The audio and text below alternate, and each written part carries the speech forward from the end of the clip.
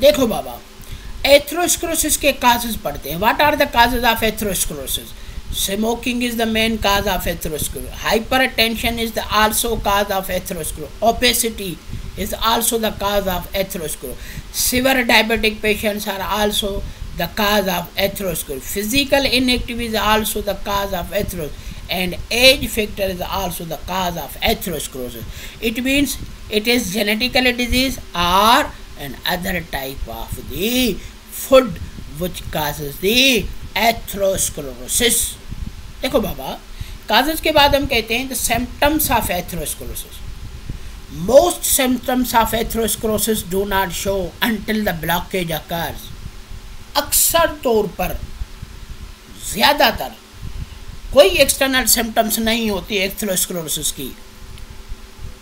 तब तक जब तक वो कम्प्लीटली ब्लॉक ना हो। जब वो आर्टरी कंप्लीट ब्लॉक हो जाती है तो फिर कॉमन सिम्टम्स इंक्लूड कौन सी बीमारी, कौन सी चीज़ें होती हैं? चेस्ट पेन होगा एंजिना होगी। Pain in the leg arm and anywhere else that and arteries block उसके बाद क्या होगा? शार्टनेस ऑफ़ ब्रीथ सांस लेने में तकलीफ़ होगी फटीक थकावट होगी कन्फ्यूज़न होगी। If the blockage affect the circulation to the brain अच्छा वो ब्लॉकेज अगर ब्रेन की तरफ़ जाने वाली की हो तो फिर आपको कन्फ्यूज़न फील होती है। Muscle weaks in the legs from lack of circulation और मसल्स भी वीक महसूस करते हैं जब ब्लड का फ्लो लेग्स के अंदर कम होता है। इसीलिए बाबा, आप देखो, ये कोरोनरी आर्टरीज ब्लॉक हो गई है तो है चेस्ट पेन हो रहा है एंजिना होती है। इसी तरीके से किसी भी आर्टरी का ब्लॉक हो जाने से ये डिज़ीज़ होती है, जिसको एथ्रोस्क्रोसिस कहा जाता है। देखो चौथे नंबर पर सीवीडी है और हाइपरटेंशन जिसको साइलेंट किलर भी कहा जाता है। वह in the blood pressure is higher than the normal blood pressure blood pressure तो आप पीछे पढ़ के आए। और आपको पता है कि ब्लड प्रेशर नॉर्मल कितना होता है? One twenty by eighty M M H G अगर इससे ब्लड प्रेशर बढ़ जाए तो आप इसको क्या कहोगे? हाइपर टेंशन अब हाइपर टेंशन भी होता है हाइपोटेंशन ब्लड प्रेशर आपने सुना होगा हाई भी होता है ब्लड प्रेशर आपने लो भी सुना होगा। जब ब्लड का प्रेशर ब्लड वेसल्स पे कम हो तो हाइपोटेंशन और जब ब्लड का प्रेशर ब्लड वेसल्स पर ज़्यादा हो तो हाइपर हाइपर टेंशन होता है। आज हमें हाइपोटेंशन नहीं पढ़ना, आज हमें हाइपर टेंशन पढ़ना है। यानी इस ब्लड प्रेशर से ब्लड का प्रेशर ज़्यादा हो, ये तो नॉर्मल है। अडल्ट ह्यूमन के अंदर रेस्ट में बैठा हुआ हो तो उसका ब्लड प्रेशर ये नॉर्मल होता है। इससे अगर ज़्यादा हो जाए तो इसको कहोगे hyper high tension pressure blood vessels पर ब्लड का प्रेशर ज़्यादा हो।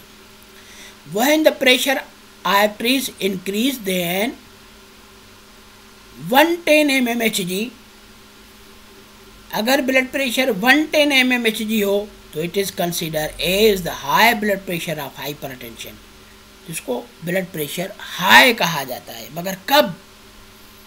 कहेंगे it happens due to the increase of diastolic pressure diastolic pressure than 90 M M H D and systolic pressure is increase in 135 to 140 M M H G in per second यानी जब 90 से ज़्यादा systolic pressure हो 135 और 140 से ज़्यादा systolic pressure हो तभी आप इसको क्या कहोगे? हाइपर टेंशन यानी इससे अगर ब्लड प्रेशर ज़्यादा हो गया, इसको आप हाइपर टेंशन कहोगे इससे अगर कम हो गया, आप इसको कहोगे hypotension what are the cause of hypertension use of excess amount of salt ज़्यादा लून नमक इस्तेमाल करने वाले लोगों। जो इंसान ज़्यादा नमक इस्तेमाल करता है, उससे ब्लड प्रेशर बढ़ता है। उसके अलावा हेरिडिटरी फैक्टर भी होता है। और हेरिडिटरी फैक्टर जो होगा हेरिडिटरी फैक्टर ख़ानदानी होता है, जिसके ज़रिए ब्लड वेसल का ल्यूमन जो होता है वो नैरो हो जाता है। उसके अलावा obesity मोटापन overweight it also the cause of hypertension affects क्या होते हैं? इफ़ेक्ट क्या होते हैं हाइपर टेंशन के?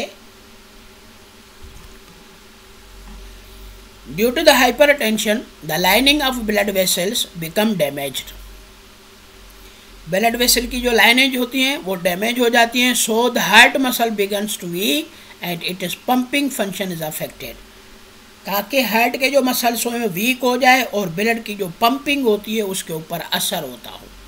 कम ब्लड निकले और स्लो ब्लड निकले। ये हाइपर टेंशन में होती है। अच्छा पाँचवें नंबर पर जो है, वो थ्रम्बस फार्मेशन होती है। थ्रम्बस फार्मेशन जब पढ़ते हैं the clotting of blood in the blood vessel is called thrombus formation किसी भी ब्लड वेसल के अंदर क्लाड होना ब्लड का, वो थ्रम्बस फार्मेशन कहलाता है। The main reason of thrombus is the formation of patches of fat in the blood vessel patches of fat और ब्लड वेसल के अंदर उसको आप थ्रम्बस कहते हो। These fatty patches damage the endothelium of blood vessel ये क्या करती हैं? इंटरनल लेयर जो होता है, आपने पढ़ा था, जो डेलिकेटेड लेयर होता है, इसको एंडोथीलियम कहते हैं। इंटरनल लेयर टुनी का इंटरना जो है, वो एंडोथीलियम सेल्स की बनी होती है, वो डैमेज हो जाती है। और इसके डैमेज होने से पता है क्या होता है? The damaged area platelets are deposit and in this way the blood clot occurs endothelium वाली जगह पर प्लेटिलेट्स आकर इकट्ठे हो जाते हैं। कागुलेशन करते हैं, जितनी वो अक्यूमुलेट होते हैं, जितनी भी उनकी कागुलेशन होती है तो ब्लड का किलाट होता है, जिसको हम क्या कहते हैं थ्रम्बस फार्मेशन देखो बाबा due to the thrombus formation reduces the blood supply to the body parts thrombus formation हो जाती है तो ब्लड का फ्लो जो होता है, वो कम हो जाता है, किसी भी बॉडी पार्ट्स की तरफ़। वही जो हम पीछे पड़ गया है एथ्रोस्क्रोसिस तो एथ्रोस्क्रोसिस में आपने एथ्रोमेटिस पलग पड़े थे, उसके अंदर कई केमिकल सबिस्टेंस थे, मगर यहाँ पर थ्रम्बस फार्मेशन जो होती है, वो क्या होती है? कलम्स ऑफ़ प्लेटिलेट होते हैं।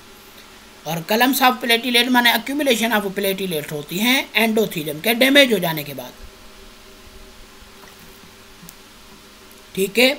तो हम क्या कहेंगे? Food and oxygen and the function of such organs are affected where blood supplies reduce or stop या तो ब्लड कम सप्लाई होता हो या बिल्कुल स्टॉप हो जाए। वह in the blood clot is separated and enters into the blood stream तो क्या होता है? इट इज़ कार्ड एम्बोलेंस ऐसा ब्लड जो क्लाट बने और सेपरेट होकर ब्लड विसल और ब्लड स्ट्रीम के अंदर फ्लो करता हो तो जब बन रहा है तो क्लाट है। मगर बनकर जब फ्लोट करे तो इसको आप क्या कहोगे? एम्बोलस यानी travelling of blood clots within the blood vessels floating of blood clot within the blood vessels, it is called embolus. Embolus can damage any small artery and it may be cause aging or heart attack. ये embolus चल के चल के चल के किसी ना किसी छोटे ल्यूमन वाले आर्टरी के अंदर फंस जाता है और जैसे ही वो फंसेगा तो उसको ब्लॉक कर देगा अगर वो आर्टरी हार्ट की है तो एंजिना करवाएगा या हार्ट अटैक करवाएगा इसको हम कहते हैं इम्बोलनेस भी बहुत ज़्यादा काज बनता है बहुत सारी डिज़ीज़ का। देखो बाबा हेल्दी आर्टरी बिल्कुल फ्री होती है। इसके अंदर नॉर्मल ये देखो ल्यूमन इसका नॉर्मली ब्लड का फ्लो होता है। और अगर पलग फॉर्मेशन हो तो ये फलग है इसके अंदर क्या होगा? कोलेस्ट्रॉल होगा फैट होगा लो डेंसिटी होगी फैट की कोलेस्ट्रॉल होगी कैल्शियम मैग्नीशियम होगा तो इसकी डिपोजिशन को आप कहोगे ये पलाक